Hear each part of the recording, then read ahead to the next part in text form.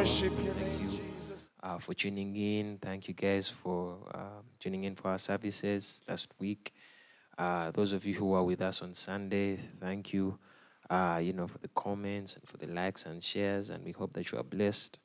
Uh, we thank the Lord for the good word that He gave us about the Holy Spirit, and uh, you know, and this week, you know, it's just a week of basking in His presence and enjoying enjoying His peace. We thank you guys for always tuning in uh, for the Wisdom Monday, and we're back again with the Wisdom Monday. We thank you guys for you know tuning in for you know Tuesday, Wednesday, Thursday for the teaching series, and the Power Packed Friday praise and worship.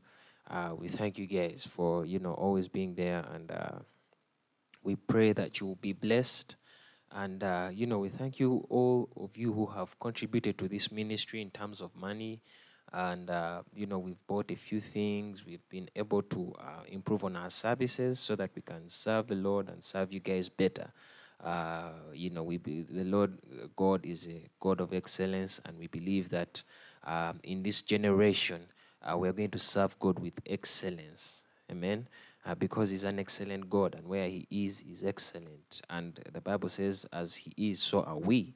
So if he's an excellent God, then we believe in serving the Lord with all excellence. And so we thank God for that.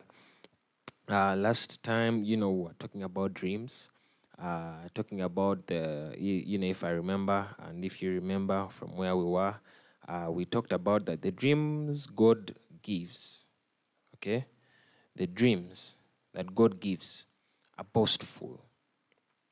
Mhm. And so, because they are boastful, you should never live as a servant. Uh-huh. It's important. It, it doesn't mean that you should be boastful, but it, it, it, it, it, it, it does not call for a lifestyle of a servant, you know, a mentality. Um, how can I explain it? Because in the Bible it says in Ecclesiastes that woe to the land when its king is a servant. So that means there are certain positions that we are in or that we are going to be in that require us to think like noble people. It doesn't call for an expensive lifestyle. It doesn't call for people worshiping you on the feet. You know, uh, I spoke of something and I said that a lion doesn't think it's the king of the beasts according to its size and according to the size of other beasts. It, it, it thinks like that because that's, that's its attitude. That's its attitude, its mentality. When it sees other animals, it sees prey naturally. And so, because it sees them as prey, they also see it as a parasite. You know, they see it as the eater. So, it, it, they are frightened by it, whether big or small. They are all frightened by the lion because of its mentality. Amen. And so, that's what it, the Bible calls for in terms of uh, uh, that scripture that we know, woe to the land where the, the king of where its king has a mentality of a servant. Okay? Jesus was a servant leader, but he was not at any time at the mercy of people. Even in his humility, he was never at the mercy of the opinion of others. He was never at the mercy of the, of the thoughts uh, and of what people thought about his ministry, about his journey, you know, of what, you know, he was never thought for. Like a, a servant is thought for. If a servant is in the house, they think for them, they give them food, they decide when to eat and when not to eat. They are thought for. They are not independent in their thinking. They are always thought for. And so when you have someone like that in a position of power and leadership, there are people who are going to be people pleasers. They are going to be people pleasers because they are afraid of of of of of of, of they they they are they are afraid of confrontation. They are afraid of of of of, of stepping on other people uh, uh, on other people's toes for the right cause. Okay.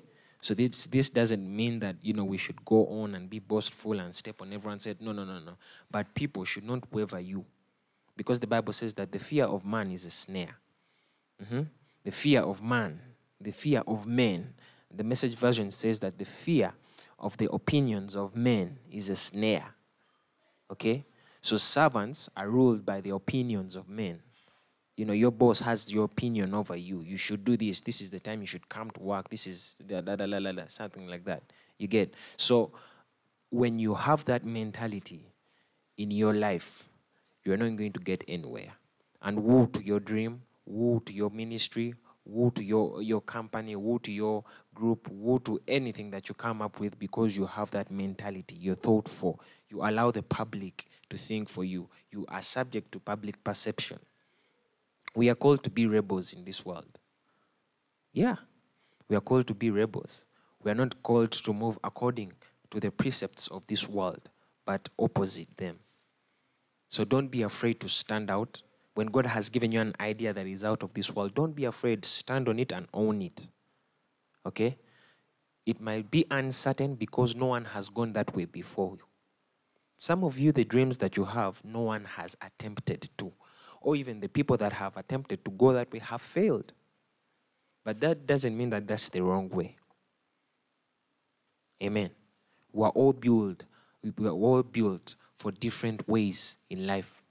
And so when a human being, when a, you know, a, a you know, a, a young person begins to be subject to the opinions of men, they'll never get anywhere. They'll keep you in a box. That, that's what it means to be in a box because society has created a box around us. And yet it has created uh, uh, uh, some kind of shades through which we look at the world. Okay? And yet God is far above that. You know, God has, God is, in, is internal. God is internal. And the ideas that He has are not even close to this generation. They are for generations and generations, even in the life to come, even in the new heaven and in the new earth. So that's why people who are moved by Him, people who are subject to Him, are not limited. so, you know, they're not limited or by doors or by countries or by laws. They are not limited because they, are, they, are, they have tapped into a power of the age to come. They're not in this age. They live in this age, but the power that they, that drives them is of the age to come. That's why they, if if a person has uh, uh, really concentrated and and sought God, they can come up with ideas in any field that have not been done before. It is possible. How Jacob came up with an idea of of of, of his of his cattle feeding while looking at a certain color and you know the, the you know uh, the, the, the the offsprings of those of, of, of, of his animals were like that color. It has it hadn't been done in his generation, and uh, you know we don't know where he got that idea from, but it worked. Amen. So when you're subject to the opinions of men, when you're subject to the opinions of man, you will not move out of the boat. Which brings us to our scripture today that I want to talk about um, Apostle uh, said, you know, sent uh, to us a word of wisdom in our WhatsApp group, and it says that a person who never made a mistake is one who never tried anything new. Okay, so the biggest hindrance to moving out, to launching out, is the fear of mistakes. Okay, it is the fear of mistakes. Because we fear to fail, that's why we are trapped. When you look at life from an area of view, you'll find that even mistakes work for the good.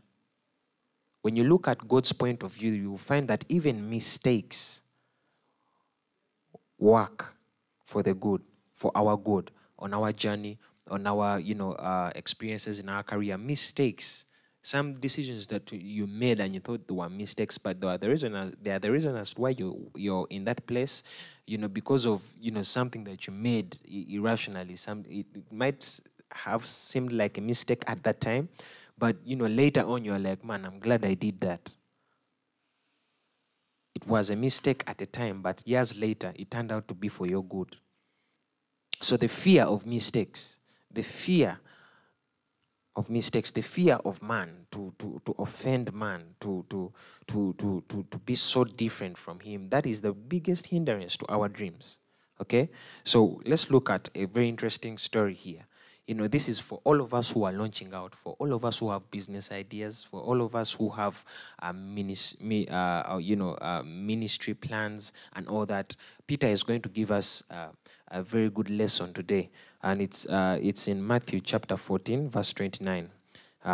it says, let me read it. Matthew chapter 14, verse 29. He says, he said, "Come." So Peter got out of the boat and walked on water, and he came toward Jesus. So the, uh, the disciples were in a boat, and, and, and Jesus was on the other end. So he comes walking towards them, just a summary. He comes walking towards them and he calls them. He calls Peter actually. He calls Peter. You know, Peter looks at him and says, Is that you? If it's you, call me. And then he calls him. So Peter was with a group of people. Now the boat can can can can can represent your society, your family, your clan, the people you went to school with, your generation, you guys are in a boat and Jesus is outside it. Okay? Jesus is calling you on the other side. and what he's calling you to do has never been done before. You're going to be set apart from your generation, from your clan, from your family. You're going to be set apart from, from your church, you know, from the people that you be with. You're going to stand out and be different. But where he's calling you is scary. You know, God provides a way, but every uh, but but sometimes His ways are scary. His ideas are scary. They are too big. They are scary. They are bigger than your business, your, than, than, than your ideas, than your, your education, than your account. They are bigger than, than, than your, your, your, your, your comprehension or your, your, uh, they're bigger than the opinions of your friends. They are bigger than the opinions, you know, of, of, of your parents. They are bigger than the, the opinions of your, your clan members and, and, and your whole family lineage. They are bigger than them. So the boat where Peter is with his fellow disciples, they believe in Jesus and they trust in him. But they're in a boat. And Jesus is over there. He's calling him to reach him there. And where he, he's going, he has never, his feet has, have, had never treaded on. He had never walked on water. It had never been seen in his, in, in his day. There is nothing that had ever happened like that. And even today, apart from Jesus, Peter still stands as the second, as, as, as actually the, the, you know, the second human being to walk on water, even up to today. So what he did separated him from for generations to come. For generations to come. That's what a dream that's from God does to you. Some of you young people are in a place of uncertainty. You're in a place you have God has spoken to you big things, but you're wondering, you're like Mary, are saying, How can this be possible? Remember, Jesus is on the other side your generation, your church members, your friends, they're in the boat. Your family, your clan, that's what the boat represents. And he has singled you out. Uh-huh. So he says, Yes, he says that, Come to me. A second.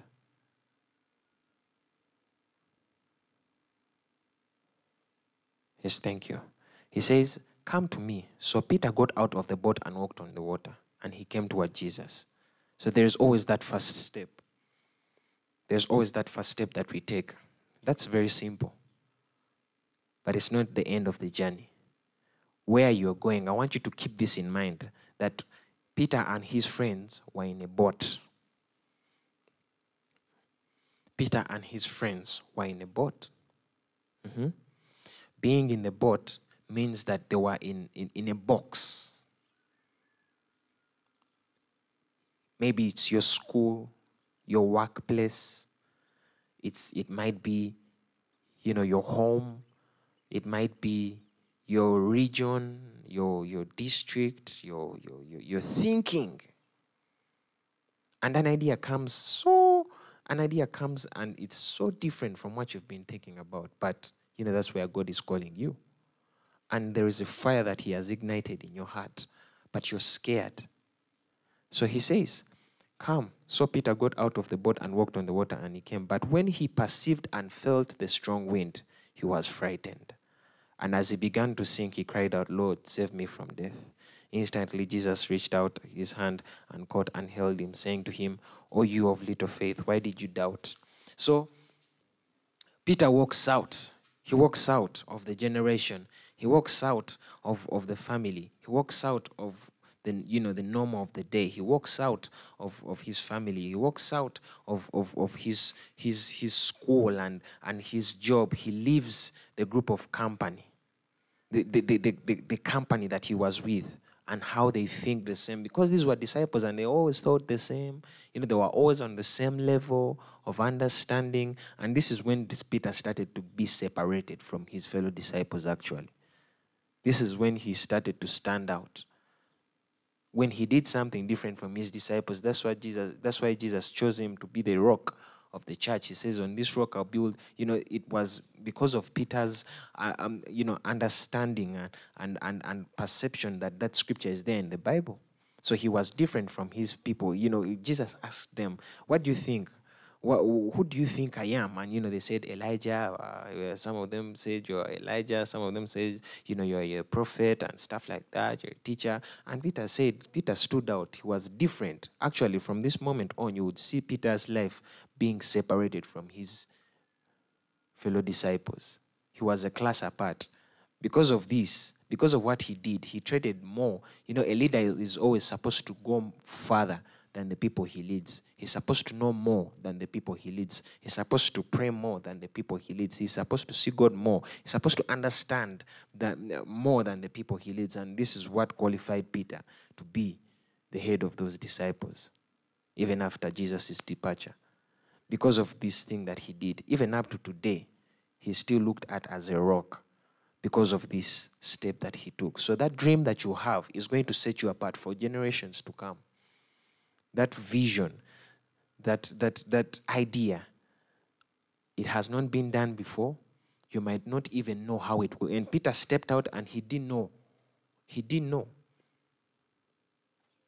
Even when he failed, at least he was a step ahead of his fellow disciples. He got out of that group. He got out of that that that that that, that thinking, that generation, that that that perception that people have about you know our business ideas and this is what you're supposed. No, he did something totally different and it set him apart. That's what sets you apart. When you're moving in the same direction, you cannot be noticed. When you're a group of people moving in the same direction, but you notice someone who is moving alone someone who's moving the opposite direction is easily noticeable. That's what sets you apart. You stand out. Stand out. So, this is what made Peter stand out. So, when he perceived and felt the strong wind, he was frightened. So, I want to talk about that strong wind that comes for a minute. You know, there, oh, we all have that strong wind that comes. But remember, anything to defeat, anything that will overcome you must first get to your spirit. The Bible, there's a reason as to why the Bible used the word perceive.